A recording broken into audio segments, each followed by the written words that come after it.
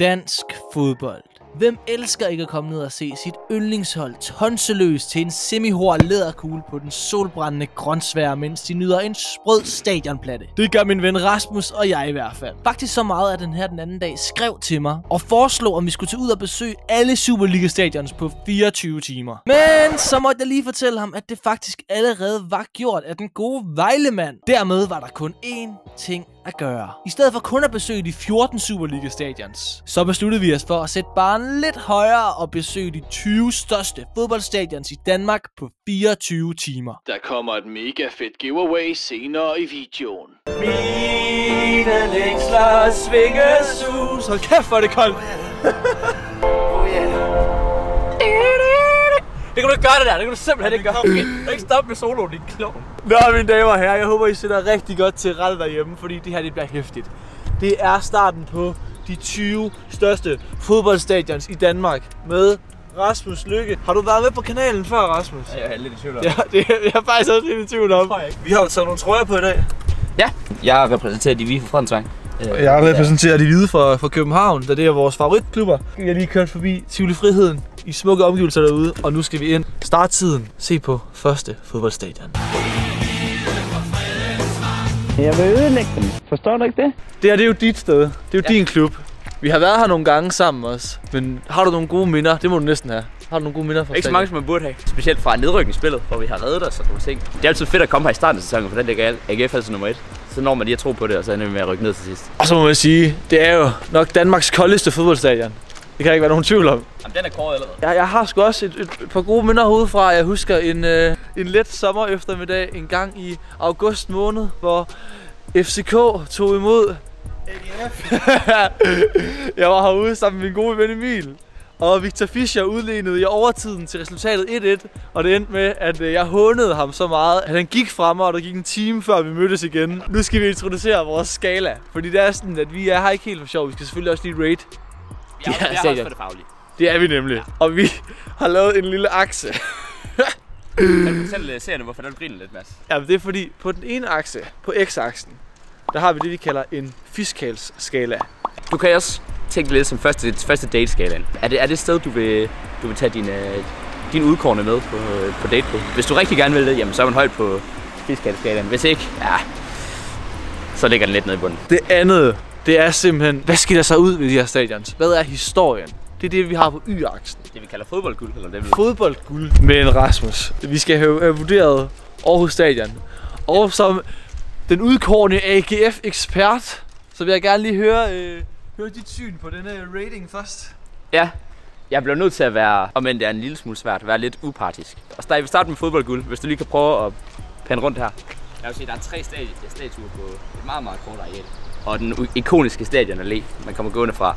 Rent fodboldguldmæssigt, og hvis du bare kigger rundt på hele Hvor er stadion. du favoriseret. Tak for det. det, er- det putter dig helt, helt op i toppen, vil jeg sige. Fiskalmæssigt, øhm, Helt nede i bunden. ja, den er ikke så høj. Altså fiskal, det er nok helt nede i bunden. det her, det er, altså, det vil nok, det, det, vil, det vil svare til at tage din date med på det mest snaskede værtshus. Man kan sige, at alle piger i Aarhus ser godt ud, men lad være med at tage dem med på Aarhus Stadion. Det er simpelthen overhovedet ikke fiskal. Men det her, det er jo første stadion på vores rejse, og vi skal have taget et billede, fordi at vi skal tage billeder på alle de 20 stadions. Og vi skal have sat noget tid i gang, og vi trykker start fra nu af. Let's go. Let's go. Nu har vi altså travlt. Nu skal vi altså skynde os lidt. Vi tager direkte videre mod Randers. Jeg vil gerne lige uh, spoil og sige, at den kommer nok ikke særlig højt op på fiskalist. Man kan ikke lave sådan en video her, uden at lave et giveaway. Men på dansk kalder for en, en giv væk En, en giv væk øh, konkurrence. Det I skal gøre derhjemme, det er, at I skal skrive en kommentar. Skriv jeres yndlings danske klub. Det kan være alt fra Silkeborg til AB til FCK. I må også godt skrive Brøndby, selvom... Ej, det er fuldstændig ligegyldigt. Skriv bag. Skriv jeres yndlingsklub. Ej, det må de gerne, det må de gerne. Altså, det, må de godt. Ja, skriv jeres yndlingsklub. Og så lige skriv, hvad størrelse trøje I bruger. Og så øh, finder vi simpelthen en vinder. Og så får de simpelthen den trøje, som, det, som de har skrevet, så køber vi til. Det kan godt være, at det ikke lige bliver nogle af dem her, de her trøjer, vi har, vi har fået os. Men vi finder i hvert fald den trøje, som I godt kunne tænke jer, som I har skrevet i kommentaren. Udover det, så like også lige videoen, så er der meget større sandsynlighed for, at I vinder. Det er der ikke, men, men, men gør det alligevel. Så er der mål! Til Randers FC! Til Randers FC! En gang til!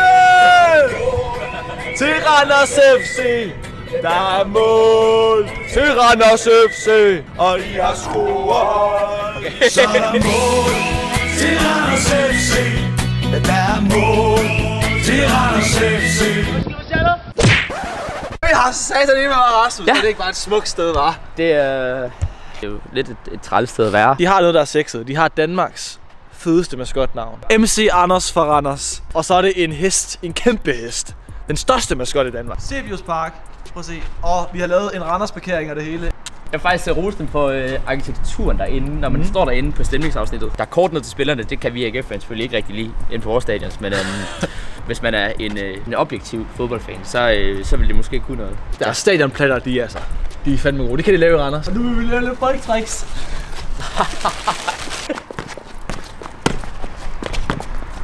Ja. Du ikke hente den Okay, kom så. Klar. Det der. Fiskal listen, Mads. Ja, vi skal lige have rated. Og jeg vil faktisk sige, at det her det er mere fiskal end Aarhus. Er det på grund af stadionplatten? Det må det næsten være. Det er på grund af stadionplanen. Det er på grund af MC Anders fra Randers. Jeg synes bare, der er meget mere fiskal i det her stadion end Aarhus stadion. Ja, nu tænker jeg, Randers, altså det er måske ikke den mest fiskale by.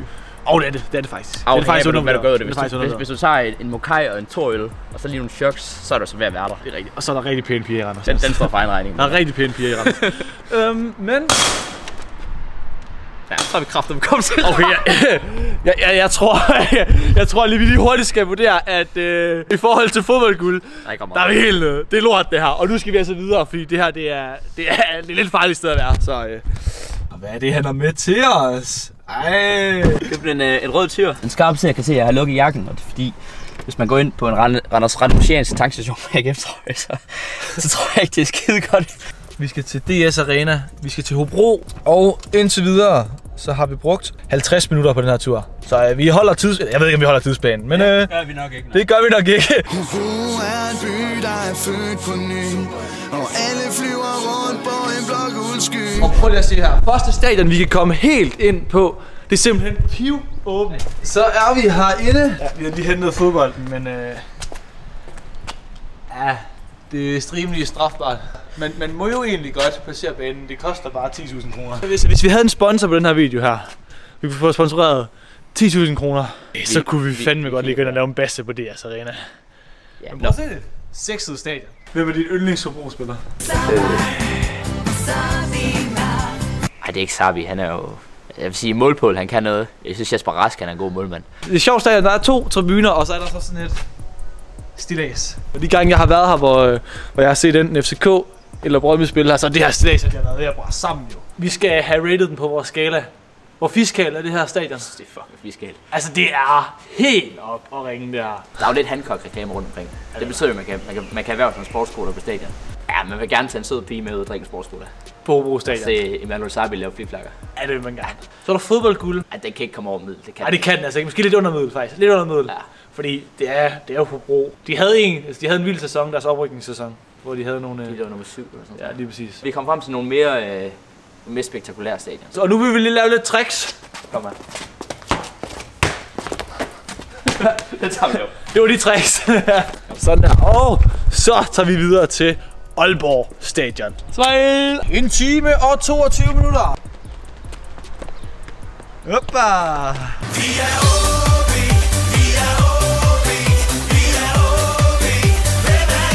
Vi står lige nu ude foran Aalborg Portland Park. Jeg har, jeg har aldrig været inde til fodbold, har du det? Det, det har jeg et par gange. Rimelig mange gange. Fire gange eller sådan. Og der er mange, der spørger derhjemme, hvorfor står du i en Viborg-trøje? Når du, Det er når fordi, du nu i er, Aalborg? jeg, nu er jeg kommet lidt nordpå. Vi har faktisk bevæget os lidt i himmerland nu. Vi ripper stadigvæk AGF hernede. Og det er jo det, er jo det vigtigste. Vi skal have rated Aalborg Portland Park. Hvor fiskal er det? Du må vide det, du har været der. Mm, ej, jeg synes, det er lidt over middel faktisk. Jeg synes, Aalborg er en god by. Ja, Ja. Nords Paris. ja. Ja. God bytur, man kan tage bagefter, hvis man er så heldig at have en fredags Gade, gaden trækker op. Jeg vil sige lidt over middel, men vi er ikke, vi er ikke helt oppe at ringe. I forhold til fodboldguldskalaen, hvad siger vi så? Her er den røde tyr.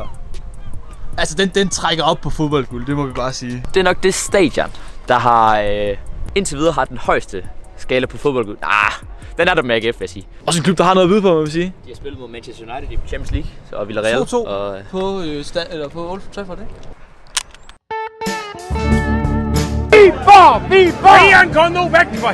kom så det grønne. Kan prøve at se herovre, hvad der ligger. Det er Viborg Stadion, mine damer og herrer. Viborg Stadion. Det er den første, første divisionsklub, ikke? Det er det jo. Fordi det er jo sådan, at vi besøger jo de 20 største stadions. Og i Superligaen der er 14 hold. Lidt endnu. Så vi skal selvfølgelig besøge alle 14 Superliga-hold. Men derudover så har vi faktisk også nogle første og anden divisionsklubber. Og den første af de lavere rangerede hold, det er Viborg. Der er lidt beton over det, men pastelfarverne og glasfacaden kan noget. Jeg synes, vi har været højt på fiskeskalaen, hvis ikke der Men- har været så meget beton. Jeg synes, der er masser af fodboldguld her. De hentede en, en vis hollænder, der hedder Bernio van Hagen fra, øh, fra, fra et års tid siden. De hentede Hagen. Turns out, han kunne overhovedet ikke finde at spille fodbold, og nu er de lidt tvivl, om han overhovedet var fra Holland. Og lige nu er han vel varetægtsfængslet i Danmark, ikke? Jamen, han skulle, han skulle egentlig også øh, op til retten, men så fik han også for retten.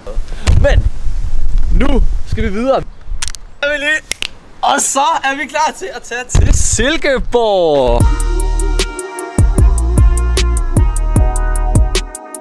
Du har ikke niveau til mere end Silkeborg!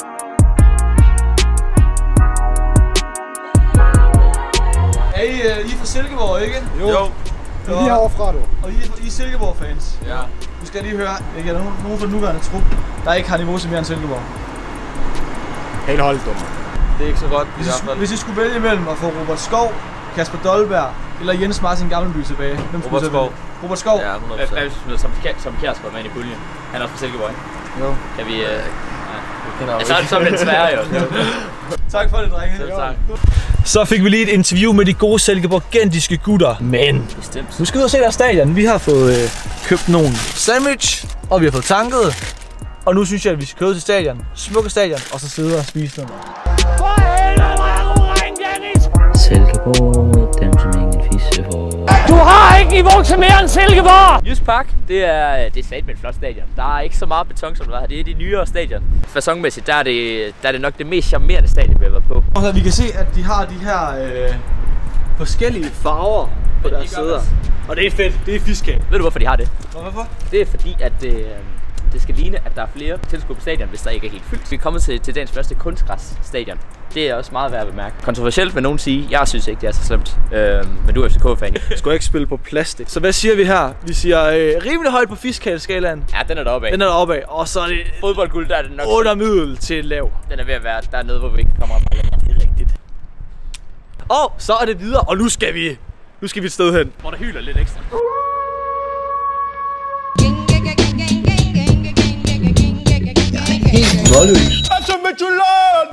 Ej, ja. Ikke hvis ikke med stoltes øjeblik. Hvad siger vi til det her sted, Rasmus? Altså, det er jo det er et flot stadion. Og det er fiskal. ja, det er det virkelig. Jeg synes faktisk, jeg synes faktisk ikke, det- er mere fiskal end Silkeborg. Det er op omkring uh, OB. Det er det. Der er en god fiskal. Altså, man vil godt tage en, kunne tage en pige med herude.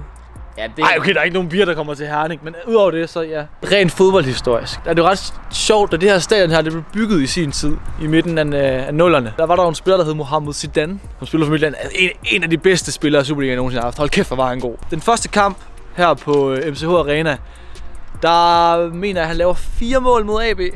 Han lavede mange mod AB. Han lavede i hvert fald mange mål mod AB, og siden da så er den egentlig blevet øh, døbt Mohamed Zidane Park. I forhold til den relativt nye klub, så må vi også, altså der er sgu også noget historie. Den er ikke helt op, du ved, den er ikke helt op på, på guldbold, skal Jeg kan jo ikke, jeg kan jo ikke rigtig stå inden for en klub, der historisk set er yngre end mig.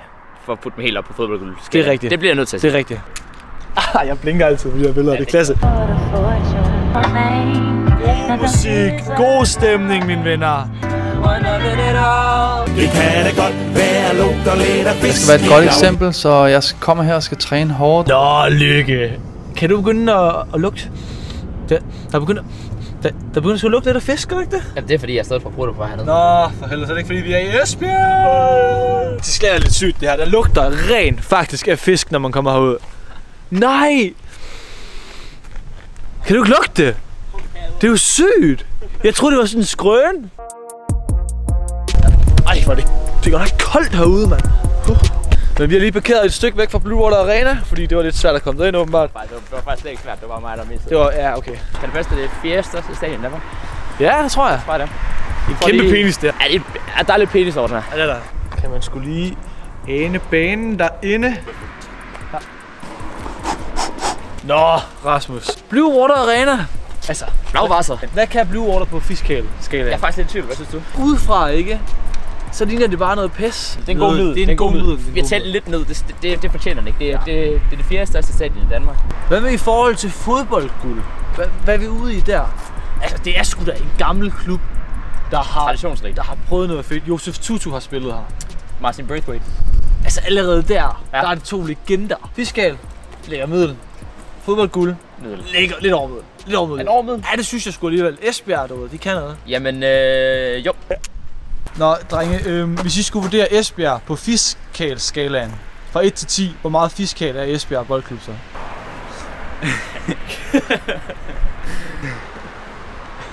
Fem. Fem. Så, en, så en god middel. Ja, tusind tak, tak for jeres tid, drenge. Vi er nu cirka 7 timer inde. For vi er alle sønderjyske Vi vil gerne høre, hvis du nu havde chancen for at købe en anden Superliga-spiller, hvem skulle det så være? Uh, det er et godt Du spørgsmål. må vælge alle. Hvem er højst? Jeg tror, det er Mustafa Bundu. Mustafa Ej, Bundu. Det kunne være et godt valg. Det er et rigtig, rigtig, rigtig godt valg. Er det typen, der står ude på stadion og, øh, og synger og sådan? Ja, ja, det er. Det kan jeg godt også se. Ja, det er fedt. Så er vi her. Sydbank Park. Jeg har lavet det, man kalder Michelin-manden. God jakke på, og så bare lige fodboldtrøjen ud over. Den er desværre ikke åbent, men prøv lige at se.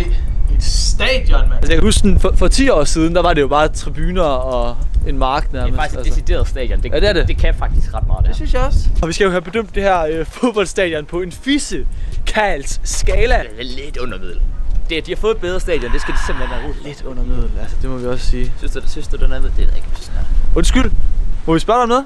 Er du sønderjyske fan? Det er fordi, at øh, hvis vi nu skulle rate det her stadion fra en skala fra 1 til 10, mm. hvor fiskal Sydbank Park er, hvor meget vil du så sige, det skulle være? Altså det ved jeg ikke, altså det, det er vel en opgradering fra, fra det vi, Fra det vi gamle? havde gamle. meget. Ja, så hvor meget vil du sige på fiskals skalaen? Måske 8. En 8? Okay. Syv, ja. Jamen det, Så er man det er godt. Så er man højt. Den, den overfører Det er vi direkte til vores skala. Tusind tak for hjælpen. Ja, tak for det. Hvad, Og- hvad er det det? Øh, det er til en øh, dokumentar. Det var så en 8, den overfører vi direkte, det skider jeg på. Det er det lokal- er fiskal. det er Vi har hørt det fra en lokal. Det- Og jeg, jeg, jeg regner med, at han er objektiv i hans vurdering, det må jeg sige. Men så er der fodboldguld. Ah, den er sgu straks svær. Puh, Ja, og så alligevel. Vi hører så meget om, hvordan det er blevet opgraderet. Det synes jeg kan noget. Man, man ser et problem, man ser et hul i markedet, og så handler man. Altså prøv at forestille jer Just Eat bare for fodboldstadions. Det er nok ikke lige så som, som Hobro. Det er det er et væsentligt, væsentligt bedre stadion. Det er det. Det, Helt er, det Helt bliver bare nødt til Helt sikkert. Jeg vil gerne gå lidt over, over Hobro, det bliver jeg nødt til at sige. Okay. Så vi øh, ligger den på en 4. Svil! Vi er nu 8 timer og 3 kvarter inde i den her challenge. Challenge. Det er en challenge! Ja, en challenge! Og vi kører over Lillebæltsbroen nu. Sabia Chamør spiller bold som en milliard Futte del af damer, du kan låne en i milfart Skud til kantspiller, skud til bakspiller, skud til målmand, skud til målmandshandsker. Skud til Christian Eriksen, Skud til Rasmus Falk. skud til Albani, Skud til Lasse Føge. skud til H.C. Andersen, Skud til Brunsvær. skud til Lars Jakobsen, Skud til Futte Fynbo. og skud til Mathias Optrup. Nu er vi ankommet til Nature Energy Park. Og man kan sige, allerede nu er det langt nede på fiskalskalaen, fordi hold kæft, noget byggeri. Det er jo noget, vi kender til, når vi er fra Aarhus. Øh, der er jo mange øh, fynboer, der, der brokker sig over deres letbanebyggeri. Øh, fed facade. Vi kan se her. OB-trøjen, altså det er også en af de fedeste trøjer, må vi indrømme. Ja, det er det sgu nok. Hvis man skal være helt objektiv, så fedt med Albani, du ved, lokal øl. Altid godt med lokal øl på trøjer, ligesom FCK. Så de har ikke et eller andet, øh, Arbejdernes Landsbank, øh, det er jo noget pis, altså. Lokal øl, det er det, man forbinder med fodbold, og derfor er det, og så udover det er det også de fedeste designmæssigt. Det synes jeg i hvert fald. Ja. Fiskal, der er vi synes- altså langt nede. Jeg synes, vi er sindssygt højt op. Men på grund af trøjen, der er vi højt op. Men det trækker ned med letbanen. Det er måske lidt over middel, faktisk. Jeg synes faktisk, den er oppe omkring Silkeborg. Er den Det bliver jeg nødt til at sige. Det er et fedt stadion. Det er Trøjen trækker langt op. Trøjen hvad har de af, hvad har de af maskot? ja, en kat. Det er Victor. Okay, kat, de har en kat som fucking uh, maskot. Det trækker kæmpe op. Helt op. Nu er vi helt op at ringe. Hvad med historiemæssigt? Historiemæssigt, det er jo mere miraklet med Jib- Madrid. Jibby Fald. Miraklet Madrid. Hold kæft, hvor er det en fed klub, det her egentlig. Hemmingsen-brødrene. Ej, ej, altså helt op i toppen. Helt op i toppen. Kæmpe klub. Hold kæft, hvor er det en fed klub. Kom, vi skal videre, fordi der er p-vagter herovre. Vi holder pisse ulovligt. Lad os, vi skal have taget nogle billeder. Ud, ja, vi skal for satan, mand. And spend some time alone Baby, you're so beautiful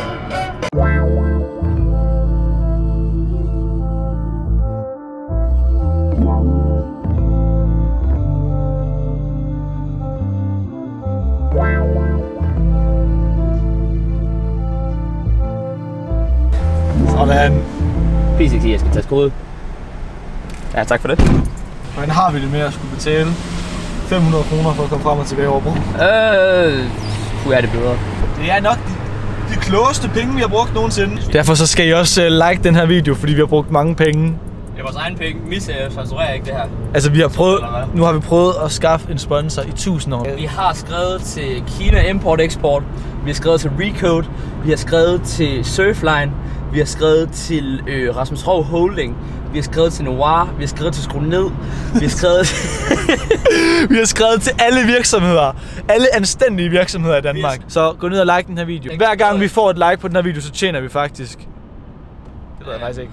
Tjener ingen skid. lidt, lidt. Vi tjener lidt selvtillid, fordi vi godt kan lide likes. Alt handler om likes, hvem har uger, hvem har skies. Citat mod.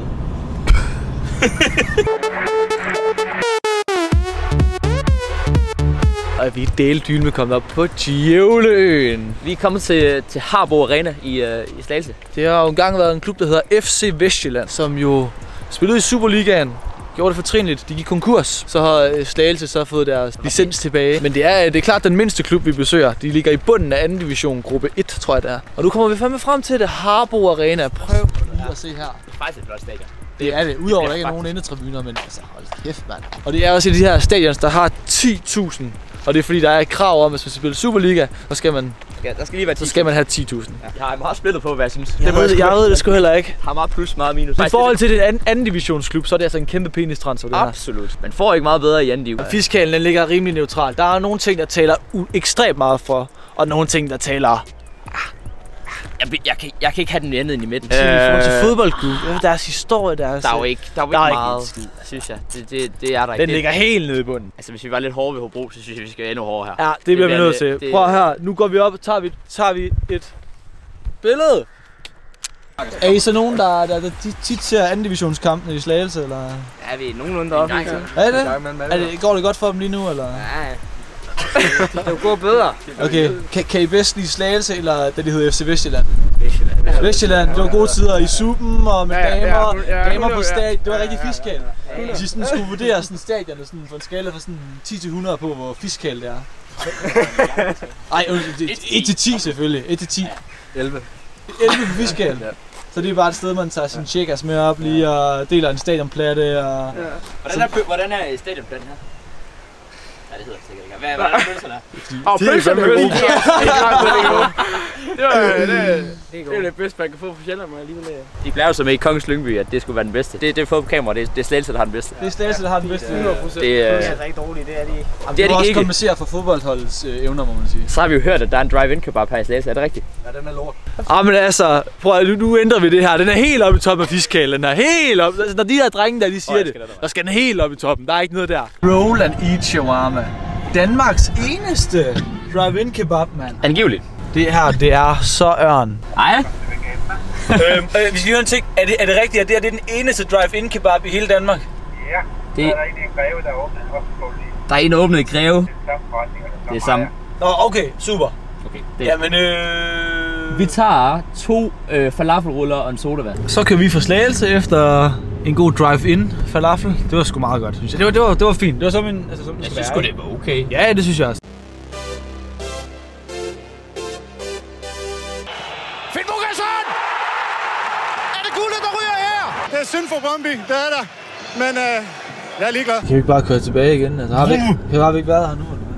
Jamen, jamen, så er vi her jo. Lige foran sydsiden, kan man sige. Brøndby Stadion. Man kan se toilet, toiletrullen her. Vi skal vel lave noget rating over det sted her. Fiskal. Prøv, er det svært. Nej, men prøv at prøv, nej, men lad nu være. Fiskal, det er jo helt nede bunden. Der er jo ikke fiskal over Brøndby, altså. Jeg bliver simpelthen nødt til at sige, at vi har ikke taget hele vejen herud, for du skal være pisse hammerende op øh, så fysisk. Jo, det har vi nemlig. Lige det der, det, det her det er mit moment. Altså, Du kan simpelthen ikke underkende, at den ikke er i, i toppen på begge skalaer. Rent objektivt. Fiskalen! Hvad mener du? Stadion er jo ikke fiskal. Det vil jeg ikke sige. Du kan, ikke sige, du kan simpelthen ikke sige, at øh, der er større fiskal i Hobroen her. Det vil jeg sige. Jo, det mener jeg. Hobro, smukke, søde, dejlige piger. Det er det højeste indtil videre på fodboldstadion. Ja, ja. Indtil videre.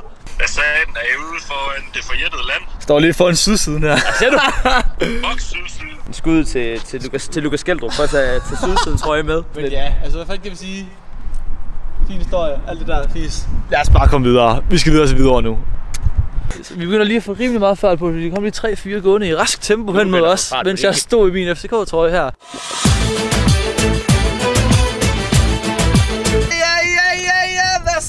Hvidovre Stadion. Det er du til, der er løbebane. Var det der til at fylde dig hjemme, eller hvad? Den er blå. En blå løbebane. Og så har vi den her. Det er dig, der skal hakke den her ned, det bliver jeg simpelthen nødt til at sige. Hvis ikke den får top... Pro Ventilation Arena. Ja, prøv at høre, det handler om... Altså navnet. Det er så højt op. Altså Hvidovre Stadion er jo helt oppe i toppen. Det er jo en kæmpe penistransfer, det her. Ej, den er helt, ej, den er helt op. Er den over OB? Ej, den langt over OB. Langt over. Helt op. Kan, kan vi springe skalaen på det her? Rasse. Hvad så? Hvad så? Hvis du nu var en højt profileret podcaster på BT Sportens redaktion, hvilke transferemner vil du så eventuelt kunne ane rygte videre til Hvidovre IF? Det er faktisk et godt spørgsmål. William Kvist kunne godt tage en tørn her, vil jeg sige. Lige lave et comeback. Hjalte Bo Nørgaard også. Krem Sasser i Mikkel Kirkeskov på venstre, venstre dør. Prøv at vi har allerede Dream Team, der er det jo helt vanvittigt.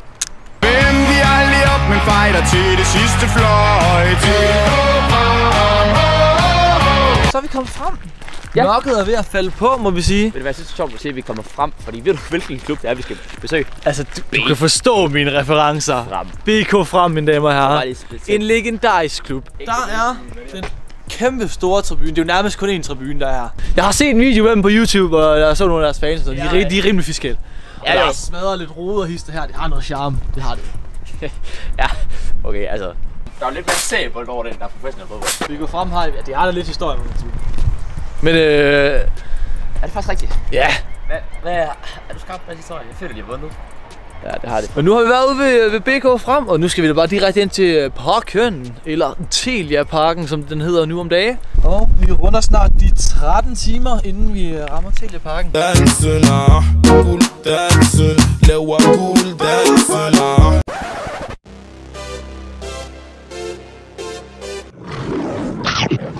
Nu tager det da kraftigt sammen. Nu er vi kommet frem til dette fysikalstuftende stadion, Parken. Eller Telia Parken. Hvad siger du til det? Kan du lige at være her? Nej, det er lortested. Hvad hvad siger til det? Der er jo delte meninger her, kan vi godt tydeligvis godt mærke, men øh, det kommer jeg synes, det er an på, fint. hvor man, øh, hvor man er fra.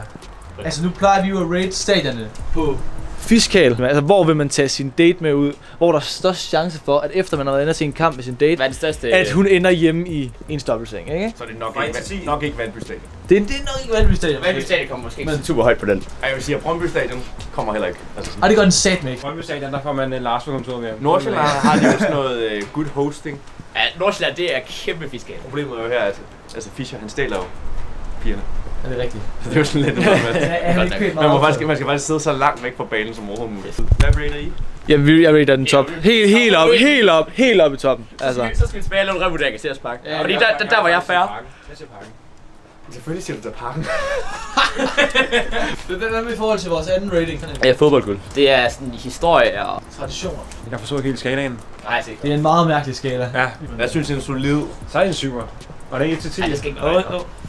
Ja, den ligger, den ligger Det er ikke så gammel en klub, jo. deroppe af. Ej, jeg synes, går På 92. god nier. Den er 112 år yngre end øh. AGF.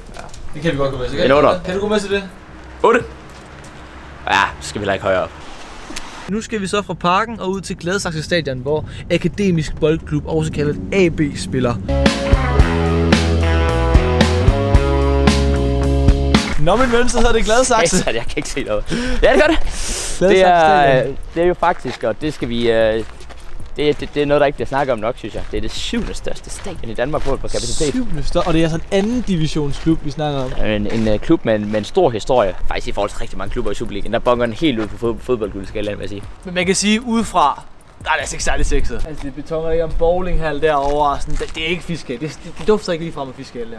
Jeg synes, det, jeg synes, det er charmerende, faktisk. Ja, men det er måske mere over på det fodboldshistoriske. Det, det er en af de, de sjældne, som, som slet ikke bonger ud på fiskal, men, men, men, men rent faktisk bonger ret meget ud på fodbold. Prøv at jeg fuldstændig enig. Det er konklusionen. Og så er det altså en klub, der også har leveret mange gode ungdomsspillere, må vi sige. Der er rigtig mange. I kan lige prøve at se, alle de her spillere her har faktisk spillet AB. Oh, hold kæft, der er blitz på, mand. Det er længe siden, jeg har, jeg jeg, jeg har haft, øh, haft den her motivation, som jeg har lige nu. Så ankommer vi her til Lyngby Stadion med godt humør. Selvom klokken er blevet lidt over... Kun lidt over 11 for helvede. Kun lidt over 11 om aftenen, og vi startede klokken pis. Det er præcis det samme skilt, som der stod i Hobro. Lyngby er jo altså en, en gammel traditionsklub, og har sgu været der i mange år. Faktisk, Altså. Jeg synes faktisk, det er hyggeligt hoved. Jeg synes ikke, jeg synes ikke, det er, jeg synes ikke, det er ufiskalagtigt. Det er, det er hvis, hvis man skulle lave et, et, et tal, så er det nok en, en fire stykker eller sådan noget på, på fiskal. På fiskal. Jamen, det, Ja, det jeg, kan vi- jo, det vil jeg godt med til. Og, og, og så fodbold, øh, nostalgien, gulden. Altså, det, det, det, synes jeg er så godt. Ej, det er, det er sgu en historisk klub, der har, har øh, opnået mange store ting, må man sige. Så åh, altså, helt ærligt. Helt op, næsten en 8, vil jeg sige. Jo, Christian syv, Kolo. syv måske. Ja, Reza. Ja, syv. Det vil jeg godt sige. Det er fedt. Men øh, nu skal vi direkte videre til deres ærkerivaler nummer 1, FC Nordsjælland. Nu vil jeg gå over i bajer med drengene. Det er mørkt. Sidste, sidste fucking stadion på Sjælland. Right to Dream Park, mine damer og herrer. FC Nordsjælland. Vi har løftet sløret for det før, og ja, det er eddermame fiskal. Prøv at se den tiger her. Jeg synes hele deres visuelle og grafiske ting, det er super, super godt. Det er mere fiskal end fodboldguld. Hvor mange fans har de? De har en håndfuld fans måske. De har lige, hvad det hedder, Red Zone. Der er bag Red Zone, ja. ja. Men altså, det er jo ikke...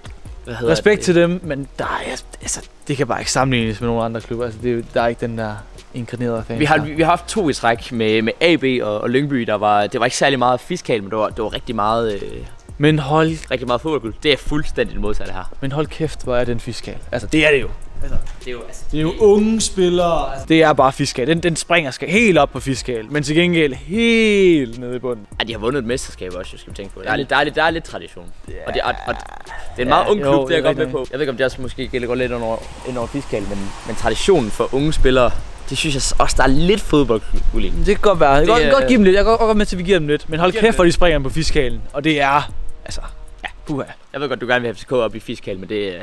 Altså, Victor Fischer, han er jo en lille, lille dreng i forhold til det her. Det er godt og det er sjovt, fordi de er jo, de er jo altid små drenge Det har han ikke været i AGF egentlig? Nej, det gad han sgu ikke været, ja. Ja, det er godt nok. for arrogant til AGF. Kan AGF. Hvad med Jens Dage så? Altså, det skal jeg Hvad siger du til det? Jeg tror, vi skal videre til Jylland nu. Skal vi ikke det? Det er sent, men vi når det fandme. så har vi holdt pitstop inden broen. Hvad, hvad siger vi? Er vi trætte i dag? Nej, jeg synes godt, vi vil. Åh, vi smadrer. Vi har fået købt tyr heldigvis. Uh, er du træt? Ja. Så er vi på vej over broen. Over gulddanserne. Rå blume. Skyder bolden som Darami. Skyder bolden som Darami.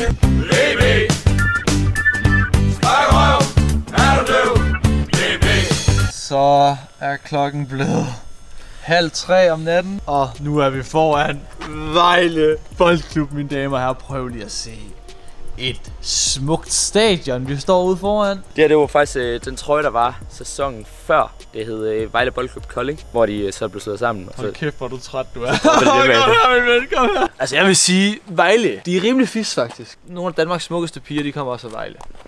Det må du give mig ret i. Jeg ved ikke, om det har noget med det her. Ej, det har det. Jeg er virkelig overtræt lige nu. Rent æstetisk, der er øh, stadionet meget, meget, det, det, er sådan set fint. Det er fint ind, øh, indvendigt, og det er, jeg vil sige, det er, det er nok 6-7 stykker. Ja, enig. Og fodboldguld skal nok lidt det samme. Ej, der var Allan Simonsen, Thomas Krav og sådan noget. Ej, nej, altså, åh. Æder. Jeg var engang i byen jeg kalder ham. Jeg var engang i en, der hedder TT-kongen. Og øh, så var vi på en bar til noget opvarmning, hvor, øh, hvor, vi, hvor vi så Thomas Graversen inde på den bar. Og det var det. Det var sådan Så derfor giver jeg fodbold, Så derfor, fodbold, derfor helt op, helt op. Ej, fodboldguld ret høj. 9. Ja, nej, det er det 8. 8. Vi skal videre. Så går vi ud og smadrer den pigekor, der står ude ved siden af, så var det to penge, der banker mod hinanden. We are the champions, my friend. Last one, man. Du, Last one. du. Og her kan vi så se det i baggrunden. Prøv lige at se den store mast. Kesa Arena. Hvad siger vi?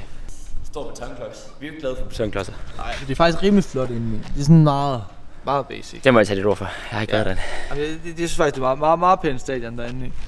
Man kritiserer farvevalget lidt, men det er jo, det er jo den gule farve. Så, jeg synes... Meget basic. Jeg siger Horsens, det, det, det er sgu ikke rigtig sexet, er det det?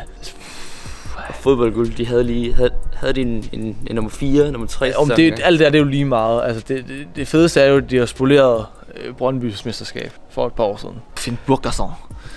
En god Let's go. islandsk angriber. Ja, så det, ja, den placer- Yes, nu skal vi fandme Jeg hjem. skal tage et billede med den der...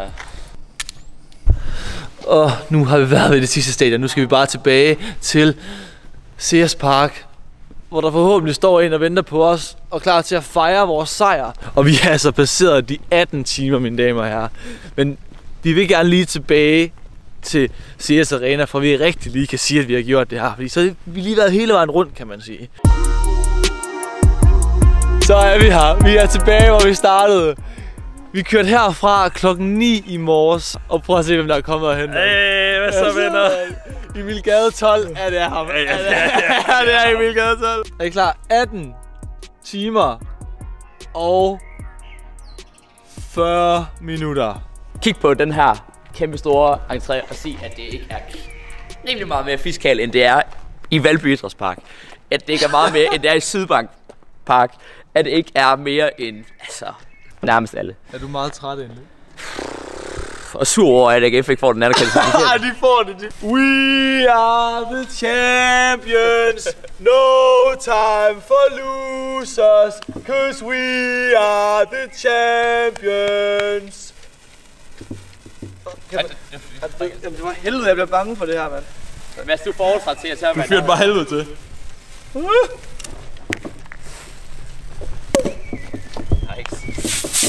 Ja! Sådan, mand. 20 største fodboldstadions i Danmark. Jeg skal med en taske, inden du går.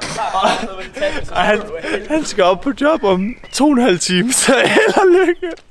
Men øh, Gade, vi skal feste i nat, det er helt sikkert. Det her, det skal fandme fejres. Det kan kun smage revpest, det der. Skål, gutter. Tak for jeres time. Fedt. Ja. Er det godt nu, eller hvad? Ja, ja, ja. Kæft, hvor er du... Nej, nej, nej. En god idé, lige. Altså, det er det, det, der, jeg kalder cringe på den gode måde, ikke? Ja, jamen, det, er jo- det er jo netop det. Altså, alle Er det, er det ikke det, det handler om, egentlig?